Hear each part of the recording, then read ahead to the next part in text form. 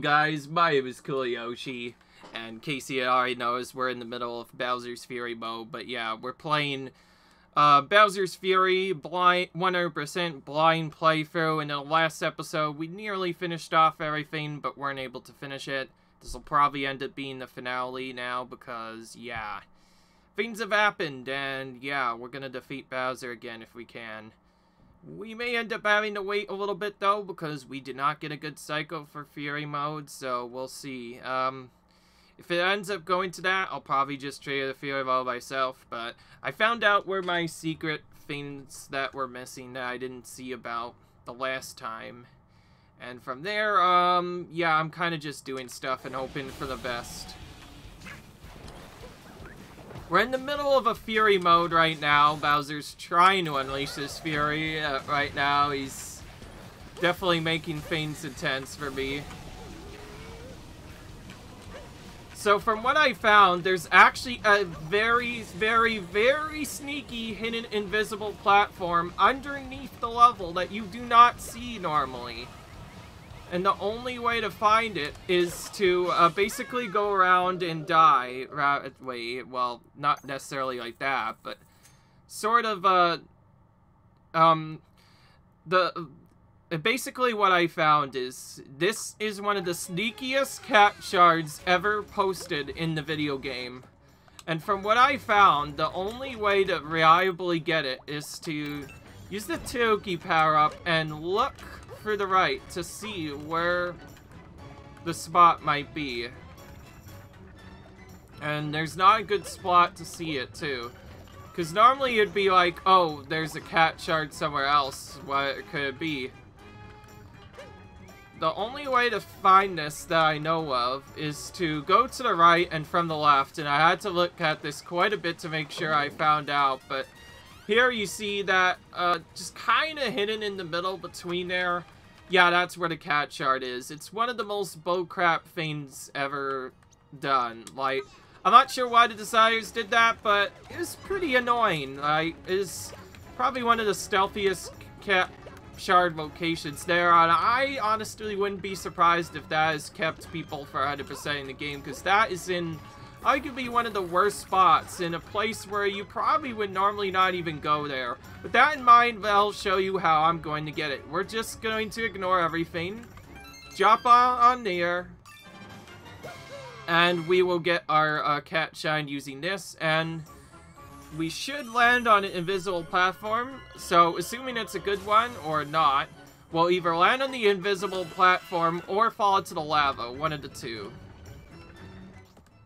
Uh, obviously, because we have the warp, we don't have to do the death, so we're just gonna warp out, and that should finish the last part. Now for the final of this part, we have to get some stuff. Since we are going to fight Bowser soon, we may as well take the upgraded Krat suit just to be prepared for it. And from there, we're just trying to finish this before Bowser's Fury mode activates. And if Fury mode is not activated, I'm gonna actually pause the video to share it. Just because I want to do stuff. And I will pay attention to what happens here this time. Because I want to see what happens when you get all 100 cat shines. So anyways, this one's a lot more straightforward than I was expecting, actually. I did not think of it initially. So that uh, finishes off the final cat shine, and I think this will actually trigger it for Cherry. Congratulations, you've collected all the cat shines. A message is now ringing out for the Gigabell. You are ready. Go cleanse the beast of its fury with the full power of the cat shines. Oh, okay, yeah, just as I thought. So it's gonna immediately trigger uh, fury mode for us. Alright, so that saves a little bit of time. So, time for the actual final battle of the game. The first one was a joke. Now we're gonna actually uh, deal with him, and he looks as white hair this time, so this might feel a little bit different, but it's probably gonna be very straightforward. Again, we have infinite power, so I'm not too worried about it, at least until the second phase, where things might get a little bit bad, but Considering what this game has done, I'm sure the final battle probably won't be any easier.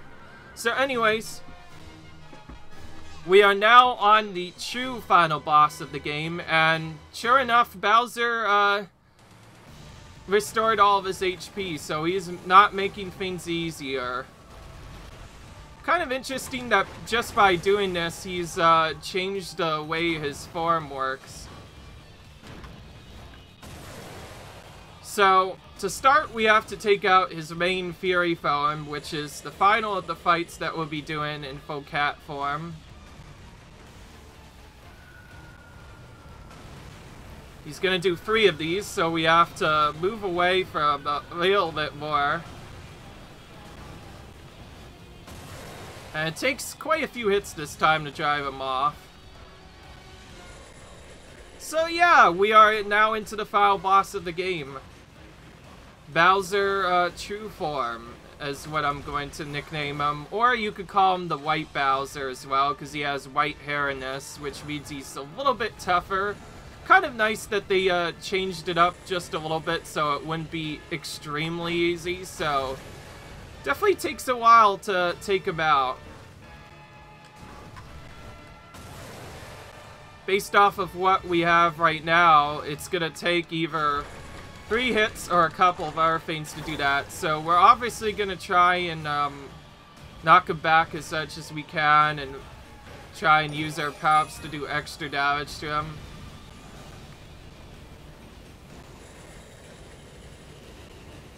Don't have the Chick Ray.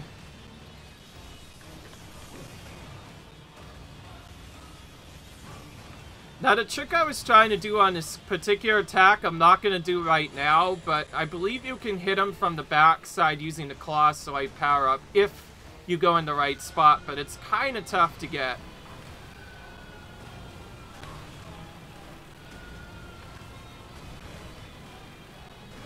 Okay, that's main hit number one.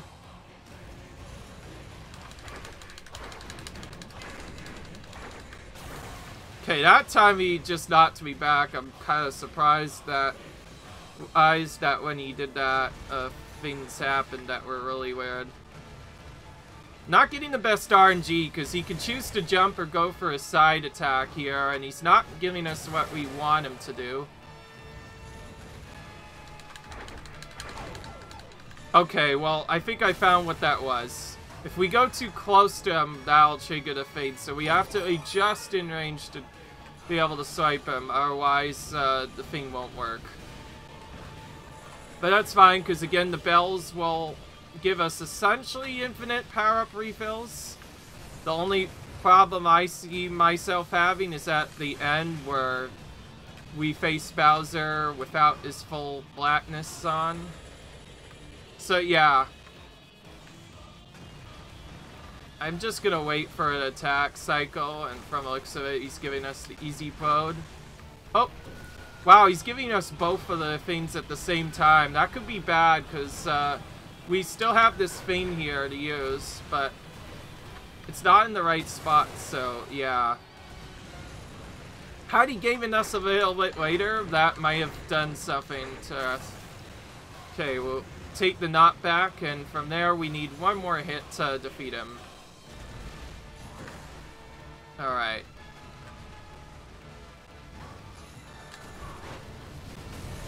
There's our quick hit that we were looking for, but not fully quick hit because it's all the way in the oil, which will take a little while, but we defeated the first phase. We'll skip this because I don't want to take too long. And, uh, I won't skip the second spot because uh, it would be kind of silly to skip this. And Big Bowser has returned once again. Still angry as per usual. Now we have to make him come to his senses. So, once again, he's going to steal our Cat Bell power-ups. Will he actually take them this time, though? Just trapping them again. He really does not want us to have those cat pubs. And now for Plessie the fight, because that's essentially what this is. This is essentially, you may as well call this an auto score because uh, It seems like no matter what you do here, you will get effectively the same things all the time. The only way this could potentially be speed up is maybe uh, taking damage might slow down it, so maybe try not to take damage would help, but other than that, I don't know anything else.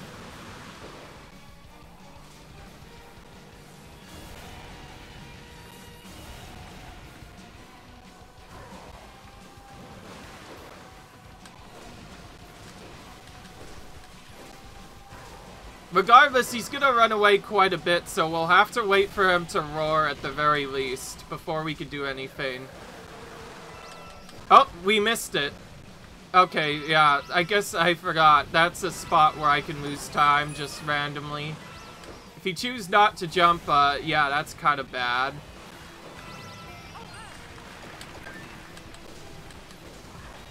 Cool.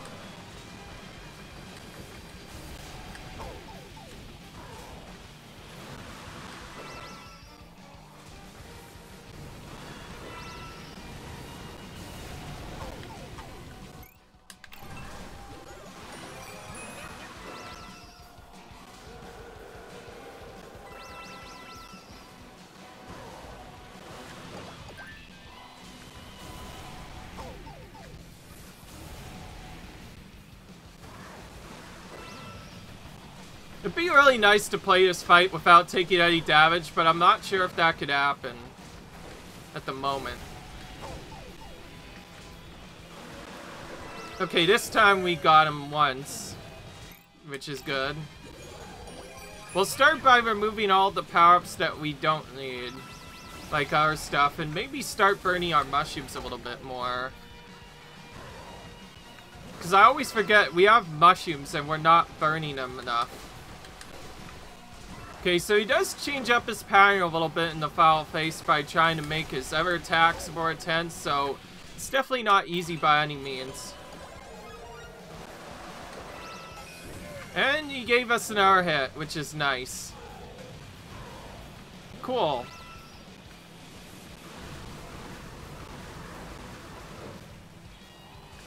I'm pretty sure this is cycle-based, meaning he has to jump away a certain amount of times before he will give you a hit, and in addition to that, it's random whether or not I'll even give you a hit at all, so... It's either that, or he'll take at least two full cycles to do that, and the most important thing I need to remember is... Gotta keep on getting those power-ups. If I, uh, die at any point, uh, I probably will have to restart the level again, and I do not want that right now.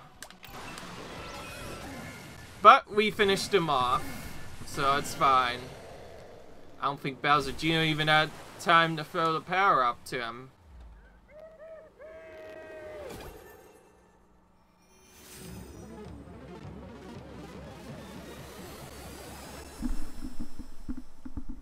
So Plessie once again becomes a big cat Plessie with Mario becoming a big cat as well. And Bowser's gone again.